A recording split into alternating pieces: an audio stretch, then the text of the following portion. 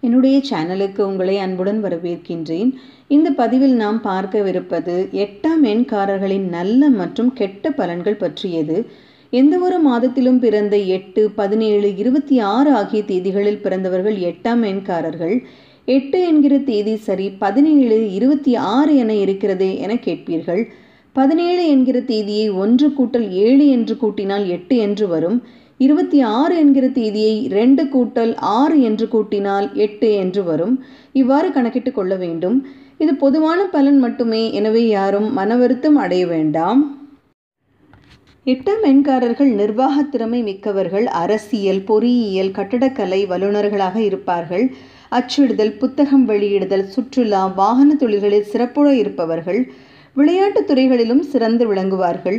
பிறரை நன்கு செயல்பட வைக்கக்கூடியவர்கள் சிறந்த மேற்பார்வை உடையவர்கள் அரசியலில் வெற்றி உடையவர்கள் விஞ்ஞான அறிவு மிக்கவர்கள் நல்ல தீர்ப்பு கொடுக்கக்கூடியவர்கள் நீதி நேர்மை தவறாதவர்கள் மக்களுக்கு சேவை செய்யக்கூடியவர்கள் சிந்தனைகளை செயல்களாக கொண்டு வந்து முடிக்கக்கூடியவர்கள் நடிப்பு திறமை உள்ளவர்கள் புதிய நிறுவனங்களை உருவாக்கக்கூடியவர்கள் பெரிய தொழிற்சாலை நிறுவி அதில் வெற்றி பெறுபவர்கள். இவையே எட்டாம் எண்காரர்களினுடைய நல்ல பலன்கள்.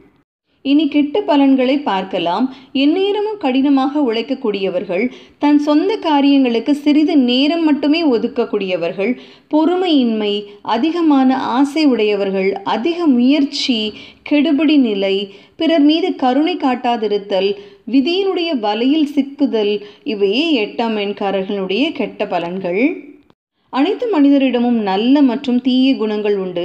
எனவே நல்ல குணங்களை மட்டும் மிகைப்படுத்தி மனித நேயத்துடன் அனைவரிடமும் அன்புடன் இருக்கலாம் என கூறி இப்பதிவை முடிக்கிறேன். அடுத்த பதிவாக ஒன்பதாம் எண்காரர்களை பற்றி அறியலாம். இது போன்ற பதிவுகளை தொடர்ந்து பெற என் சேனலை சப்ஸ்கிரைப் பண்ணுங்க. மீண்டும் அடுத்த பதிவில் சந்திப்போம்.